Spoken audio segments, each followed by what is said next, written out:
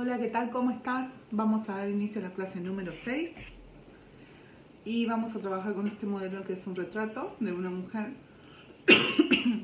Y hoy vamos a, a pintar con la técnica del óleo pastel al agua o eh, crayones acuarelables y vamos a empezar con el área de dibujo entonces. Ya tracé mi eje vertical y horizontal. Recuerda que la hoja para este trabajo tiene que ser una hoja que soporte el agua mejor en su caso si es hojas de acuarela. Y estoy empezando por el centro. La nariz con estas dos pequeñas líneas que se abren como si fueran un triángulo que nos cierra. Y finalmente estas dos verticales que suben formando la nariz. A partir de las voy a hacer un poco más angostas y a partir de acá se abriría lo que serían las cejas.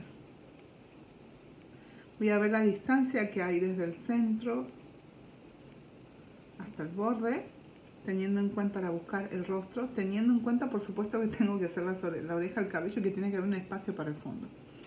En este caso yo estoy viendo que mm, quizás estoy manejando proporciones muy grandes, así que voy a empezar a trabajar un poco más pequeño.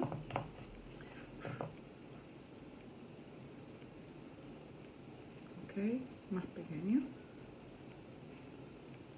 Una ceja podría marcarse por ahí. Y hacer que por acá baje el rostro se una por aquí. Voy a tomar la misma medida del otro lado para saber el ancho total que va a ocupar este retrato. En cuanto a la cabeza voy a subir esto y a partir de aquí voy a hacer estas curvas que se unen al eje vertical para delimitar lo que sería la frente y el flequillo. A partir de acá ya puedo empezar a ubicar la oreja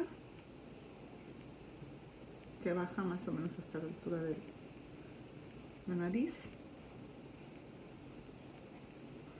y a partir de acá ya una línea vertical con la que aparece el lateral del cabello.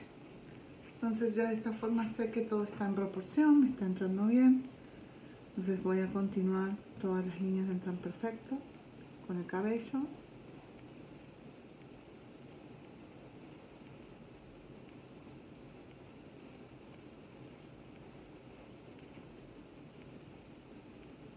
voy a poner el cuello.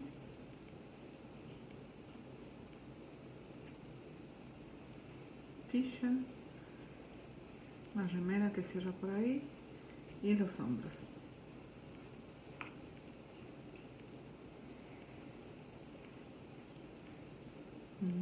Voy a bajar hasta la altura del cuello. Veo que acá hay una vertical que se une.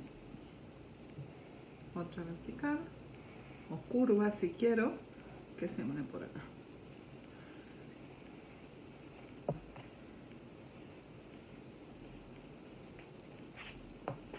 Y ahora sí voy a trabajar los ojos, las cejas, la boca. Ya en este momento si quiero puedo borrar este, los ejes verticales y horizontales porque ya me ayudaron a ubicar en proporción todo lo que tenía que ubicar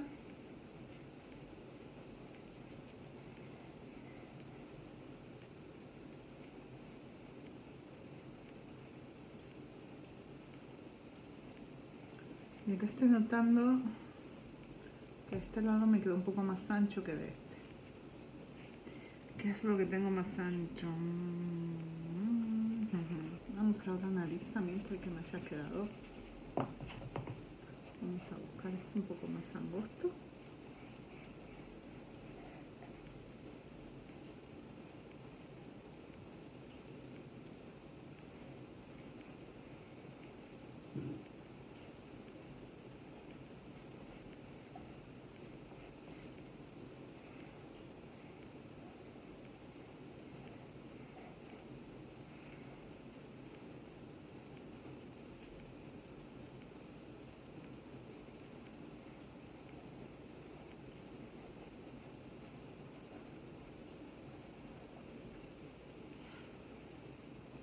y ya está. De esta forma hemos concluido con nuestro modelo, con el dibujo de nuestro modelo de retrato de esta mujer. Y voy a borrar mis ejes. Y en el próximo video, como siempre, vamos a empezar a hacer la práctica de pintura.